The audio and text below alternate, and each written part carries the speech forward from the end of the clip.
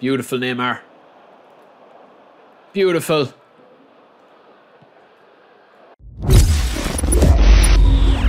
What's the crack lads? Welcome back to the channel and this is definitely one of my most requested videos now that V2.4 finally kind of rewards a little bit of wing play, right? Should you be using side midfielders and wing backs or else outright wingers, right? And it's a very difficult question to answer, but I think this is probably one of my most in-depth videos. It's taken me so long to edit it, so I would appreciate if you guys would like it and any feedback, any suggestions that you have, right? So if you are playing out wide, right, there is two things you really need to decide. Now, we're going to break it down into four things, right? But the two things you need to decide is whether you're going to be a cut-in winger or you're going to be a crossing winger. That's kind of the two things, right? And then they're kind of split into subcategories, right?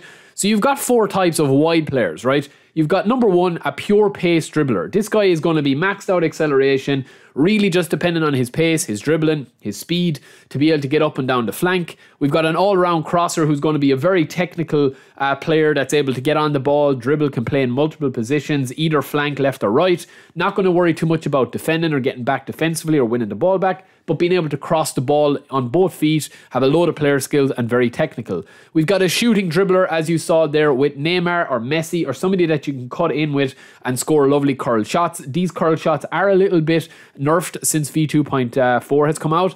And then we've got the wing back. Now, this is going to be somebody like Kimmich who can play right, ba- right back, or Hakimi, or somebody like Cancelo who can play left or right back, or left or right midfield in that position as a wing back. So, for an example of number one, our pure pace dribbler is going to be St. Maximin. You can see there 99 acceleration, 96 dribbling. That's going to be huge for him. Absolutely beast. Going to be using his his pace. We've got Di Maria as our crossing winger. So this guy can play anywhere. He can play right mid, left mid, AMF, left. Uh, wing, right wing, and he's going to be crossing the ball in very technically.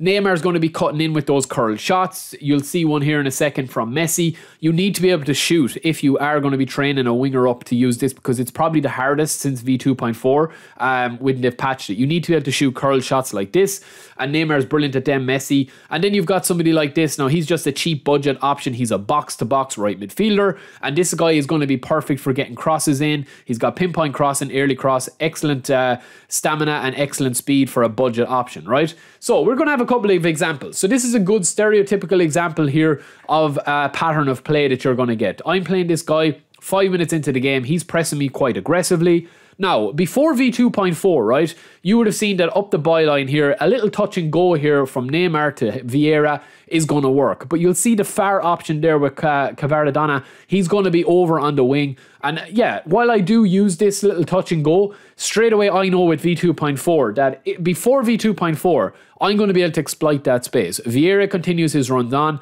but I know that the AI is so handholdy at the moment that I'm going to get cut down very, very easily, get the ball dispossessed if I take on that track there. So I try to recycle it back. We get a bit lucky, but my main goal here is to get the ball into the space out wide. And here we go. Beautiful little pass. And then we've got so many options here. We'll get to this and break this down in a second, but we do get a goal from a cross in that starts with Neymar, ends with Neymar from the opposite wing crossed in, right? So a lot of this depends on how you set your team up. The first option here that I will break down is a is kind of a wing back or else a crosser. I've kind of mixed it into two. So we've still got Cavard, uh, Kvaradona up right wing.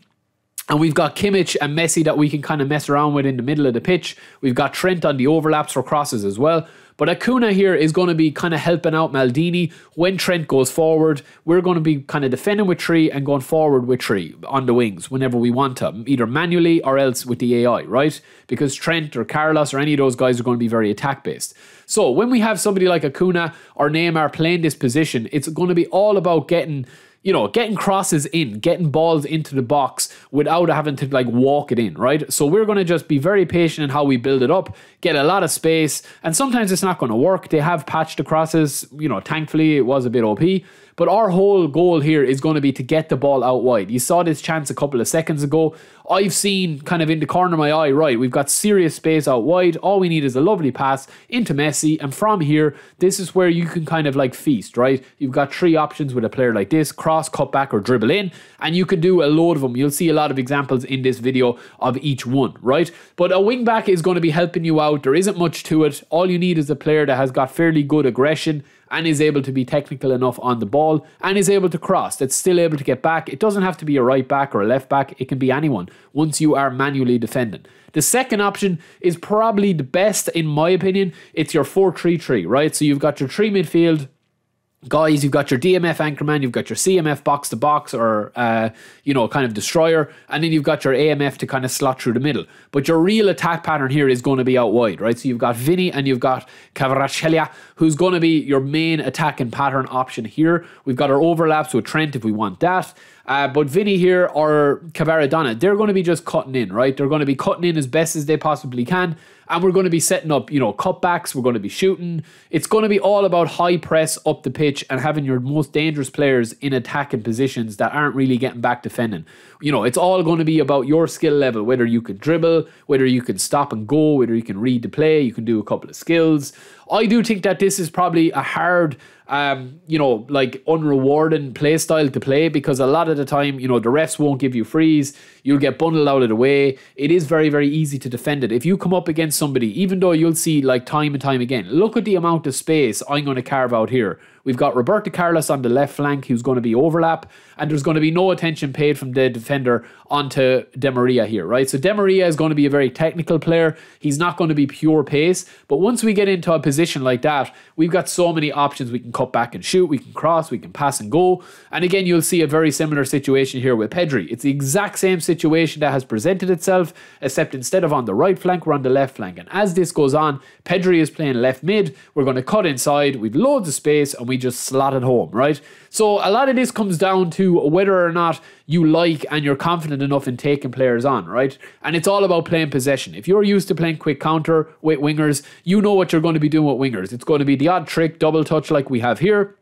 You're going to be getting the ball into a more central position. You're going to be passing it across and you're going to be trying to walk it in. Now, it doesn't work out for us in this situation, but we do recycle the ball and get it back and we do miss it up there. Um, but yeah, it's going to be all about getting the ball into this, you know, tight dribbling, touch and go, very direct, not really faffing about too much with it, taking shots, getting chances. The minute we're in the box, we're going to be shooting, right? But I think that the most kind of fun and the most overpowered way of playing is probably having a balanced, you know, a, a balanced approach approach to it. So it's going to be about tight dribbling, it's going to be about stuff like that, that you can get the ball into dangerous positions. Because at the end of the day, man, if you are playing out wide, you need to be taking players on and you need to be cutting back for easy tap ins, or else you need to be taking on, you know, crossing the ball in and having a bit of defensive cover there and playing through the middle. So I definitely recommend out wide. I think it's very, very fun.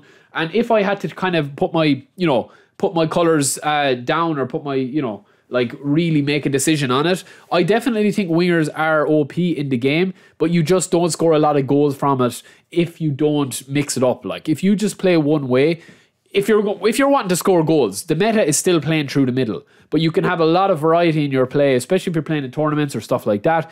And if you are good, you can destroy people on the wings. People that are used to defending through the center, um, people that are used to playing meta versus meta. Um, or overpowered middle play through the middle. You can destroy somebody by playing possession, keeping the ball and springing attacks out wide. So that is it for me, lads. I hope you enjoyed this video. It's taken me a long time to do this video with all the changes for V2.4. But yeah, I hope you enjoyed it. Let me know if you did, and I will be back quite soon. Peace.